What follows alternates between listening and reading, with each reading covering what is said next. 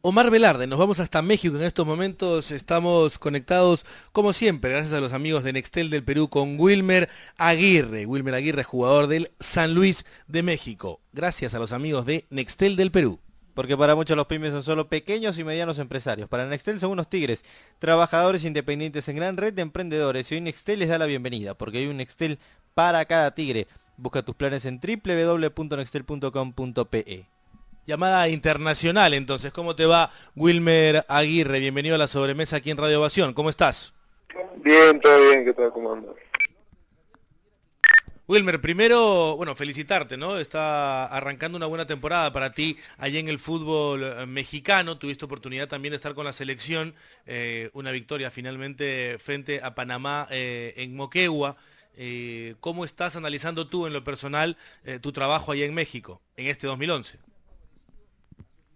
Bien, bien, por suerte las cosas está, están, bien, están yendo de la mejor manera, por ahí como uno, uno la quiere, así que nada, lo de la selección pues me fue muy, muy bien, creo que hizo un buen trabajo, por ahí no, no se pudo dar un mejor espectáculo por, el clima, por la cancha, la lluvia, todo eso, pero pero nada, nada, ahora, ahora pensar, seguir trabajando y, esperar una, una, próxima convocatoria, ¿no?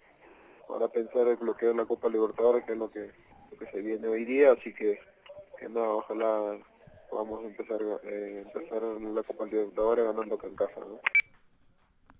En efecto, justo lo que hablas de la Copa de la Copa Libertadores, toca el debut esta noche, están concentrados, me imagino ahí con los compañeros del San Luis, un equipo duro, ¿no? Este, este de, Libertad, que ya ha venido, lo conocemos acá en Lima porque enfrentó eh, a la U las últimas dos ediciones de la Copa Libertadores eh, de América, ¿no? Es un equipo que defiende muy bien, un equipo que te aburre un poco por la manera de jugar eh, al fútbol. ¿Han analizado un poco este debut al equipo paraguayo? Sí, sí, no, no conozco mucho, bueno, sé que, es un buen, buen equipo, no, no conozco mucho, nunca he tenido la oportunidad de enfrentarlos, pero pero sí es un, un, equipo que, que, ha mejorado. Eh, el año pasado en la Copa y llevó también, pasó ahí los octavos, si no me equivoco, creo, y, y se hace fuerte, se hace fuerte, así que, que ojalá que, que nosotros no, no vaya bien. Lo importante es ganar, este, conozco a, a Gustavo que, que, está ahí, así que, que nada, ojalá que, que nosotros podamos comenzar ganando, ¿no? Ahora, ¿qué, te dice el técnico del San Luis y los compañeros cuando te va a tocar jugar Libertadores por San Luis? Porque tú ya tuviste la oportunidad de jugarla con Alianza Lima y se nota que los equipos mexicanos por ahí eh, en un primer momento como que eh, ven qué pasa en la fase de grupos y luego la toman en serio cuando va avanzando eh, un poco las instancias de la Copa, ¿no? Incluso se ha visto en algunos casos que algunos clubes mexicanos han llegado a la final. No la han ganado todavía, pero ¿cuál es el objetivo del San Luis? Por ahí avanzar, tentar la posibilidad de llegar a una semifinal o final, ¿por qué no? Sí, es la idea, la idea creo que, por lo menos en lo personal para mí una Copa Libertadores es lo, más importante que uno puede estar jugando, por ahí quizás a los, mexicanos no es tanta no es tanta esa importancia pero pero nosotros los americanos que estamos aquí en el club creo que para nosotros sí es muy importante así que que por ahí es la idea, la idea de, ir avanzando, de escalar poco a poco. La clave es eh, por ahí ganar en casa y robar punto afuera. Creo que eso va a ser la clave para seguir avanzando en la Copa Libertadores. Así que, que, el profe Nacho, eh, pues me, mm, más que nada a todos los americanos que, que por ahí estamos acostumbrados más a más este, jugar Copa Libertadores que los mexicanos, pero pero creo que la responsabilidad va, va a quedar en, nosotros, no los sudamericanos, que, que ya hemos enfrentado esta, esta copa, ¿no? Definitivamente que va a ser así, este Zorrito, que le vaya bien esta noche eh, en ese partido importante que arranca para la Copa Libertadores en lo que es la fase eh, de grupos. Te llevo nuevamente al fin de semana, tuviste la oportunidad de enfrentar en Cancún, esta vez con mucho, con mucho calor, al equipo de Raymond Manco. No tuvieron oportunidad de cruzarse en el terreno de juego, eh, empate a cero finalmente, pero pudiste conversar con él un poquito de repente después del partido o antes. Sí, sí, este, conversamos ahí antes del partido, por ahí estaba por ahí se, pensaba que se iba, se iba a suspender el partido por, por la fuerte llovina que estaba dando, eh, la cancha muy muy mojada, parecía la a Moquegua, así, entonces este, por ahí tuvimos la oportunidad de conversar un buen rato, nos deseamos suerte, por ahí a mí no me, no empecé jugando por, porque el profe prefirió que, que vaya a descansar por, por el trajino de, partidos seguidos. Y bueno, lo, importante es que, que rescatamos un, un punto, complicado jugar con, con, lluvia, una cancha muy, muy pesada, pero, pero nada, creo que Manco hizo lo, lo, lo, suyo y, y por ahí me tocó entrar y va a ser lo mío, así que que lo importante que, que se empató y, y eso nos no, no da confianza más aún para, para enfrentar esta Copa Libertadores. Wilmer, ¿cómo te va? Buenas tardes, Omar Velarde te saluda. Hablaba justamente del Trajín, ¿no? Y en esta temporada San Luis, digamos, ha tenido un buen inicio de, de liga para ustedes. Están segundos en la tabla general en el torneo Azteca. Pero no sé si el, si el partido que tienen ustedes el viernes ante Puma se va a suspender o por ahí eh, el técnico va a reservar algunos jugadores en el partido de Copa Libertadores o le va a dar prioridad y va a ir con todo el once titular ante Pumas porque ustedes también necesitan sumar para no verse complicados con lo que significa el descenso y por ahí clasificar a la siguiente fase ya del torneo mexicano. Eh, no, yo no creo que se vaya a suspender el partido contra Pumas, creo que, ese partido lo vamos a jugar. Eh, el profe por ahí no hay muchos jugadores, pero, pero por lo menos creo que está está tratando de, de, descansar un poco a, los que vienen ya jugando más tiempo.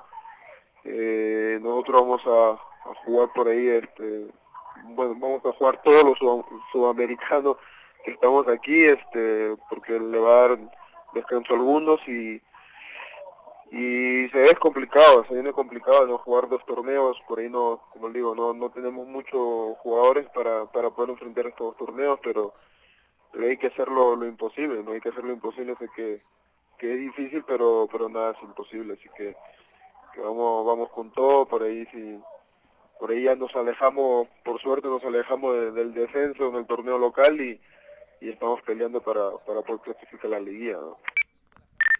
Ahora confirmado usted en el ataque para hoy el partido ante Libertad.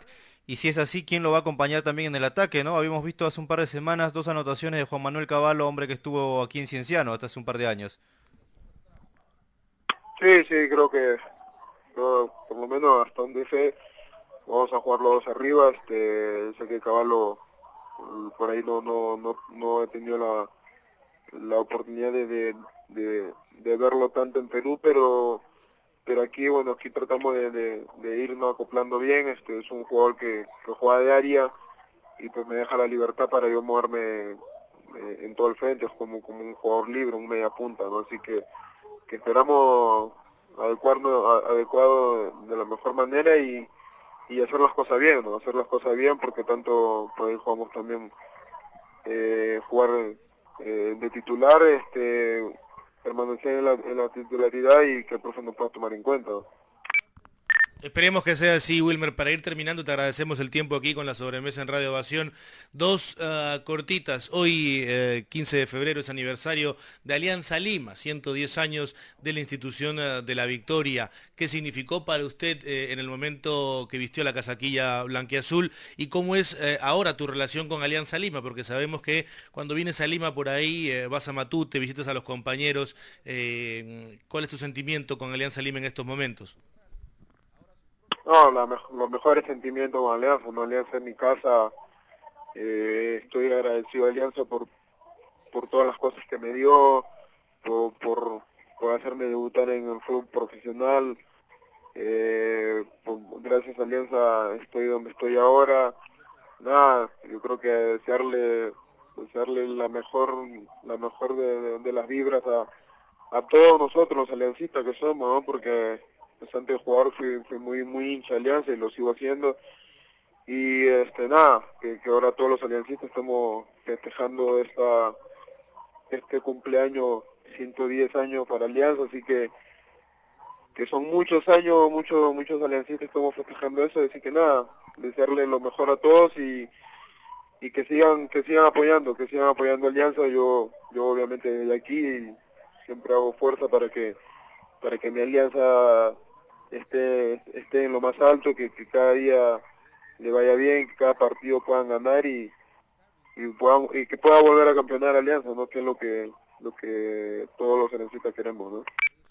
Efectivamente, de repente si es que hay gol hoy día o, se gana por ahí en la Copa Libertadores, alguna celebración Alianza, alguna celebración especial dedicada a Alianza Lima. No lo había pensado, pero vamos a vamos, vamos a ver, creo que es una buena idea, una buena idea para demostrar, por ahí demostrarle lo, el sentimiento que siento por, por, Alianza, ¿no? Así que, vamos, vamos, vamos a, ver, por, lo primero primero hacer el gol y después vamos a dar el, festejo que se hace hacia ese club que, que me lanzó la fama, ¿no? No sé si está permitido llevar la camiseta de otro equipo debajo, pero por ahí un, chullito o alguna bandera blanquiazul que, que demuestre que, está con ellos desde allá de todas maneras. Y te has levantado seguramente y has visto en internet eh, mucha prensa peruana digital o muchas páginas web donde se habla de las celebraciones de Alianza Lima. No toda la semana en realidad se comenzó ganando en el torneo local y Alianza tiene toda esta semana de celebraciones. Zorrito, te agradezco mucho el tiempo en Radio Evasión. Muchísimas gracias. Tu despedida aquí en la sobremesa. No, agradecerle, agradecerle a ustedes, es un gusto poder expresar, este, expresar este, este, sentimiento a todos los peruanos, a, todo, a todos los hinchas de Alianza, así que, que nada, estamos hasta la hasta otra oportunidad, así que estaría estaría aquí a, a, lo que usted decía. Un abrazo y suerte esta noche, muchas gracias. gracias a ustedes, hasta luego, bye.